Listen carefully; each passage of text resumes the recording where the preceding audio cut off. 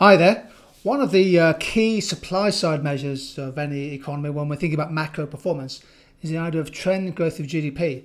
I just wanted to spend a minute or two with you on the idea of trend growth. So this chart shows the level of actual GDP, that's shown in blue, familiar economic cycle I hope. I've taken out oil and gas, it's a highly volatile sector. So it shows the level of output in the economy, of GDP. The orange line shows a slightly flatter trajectory and that's the growth of potential output or the growth of the trend growth of GDP. Now, one of the aims of supply side policies in the economy is to increase a country's potential national output. In other words, raise the trend level of GDP. The key thing is how does a country do that? What, what are the mechanics of, of getting that orange line moving upwards? Effectively, if you want to link it to some concepts, it's the long run aggregate supply curve shifting out, or it's an outward shift of the production possibility frontier. So, how do we do it? Well, here's some data for the UK economy which gives us some important clues.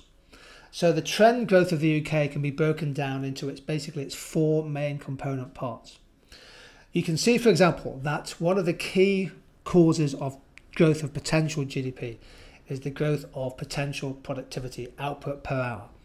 If you can lift the increase in productivity, if you can make the economy more efficient, that is the main driver of potential GDP increasing output per hour, output per person employed is massively important.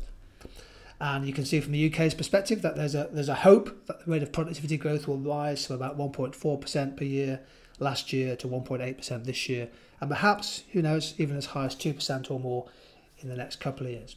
Another way that you can increase aggregate supply is by getting people to work more hours. Actually, the forecast the forecast is that average hours worked may actually diminish in the next two or three years. The other way that you can get uh, uh, the aggregate supply to shift out is by getting more people in work, percentage of the population aged above 16 who are in work. And that's not really changing very much. The employment rate is fairly high already, and getting more people into work is, is pretty tricky. Childcare policies and minimum wages and living wages and things can have an effect to the margins, but it's not the most important thing. In fact, what's more important, as you can see, is the growth of potential population growth. And so, a key factor causing an increase in trend growth is the growth of the country's population, which feeds into an increase in the size of population of working age.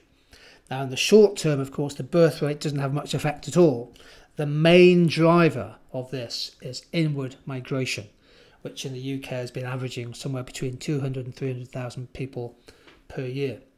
Add these four columns together, a little bit of rounding error involved, you end up with the fifth column, potential output growth for the UK. And the forecast at the time of the last budget, this is from the Treasury, is that Britain's potential growth rate is going to nudge a little higher from just over 2% towards 2.3%. Now, that may not be very much in, uh, in percentage terms, but it's a sign perhaps that the British economy might be increasing its trend growth just a little bit. Why? because the biggest single driver of trend growth is productivity. So if you get a question on productivity, it is a massively important topic for the trend growth of GDP. Thank you.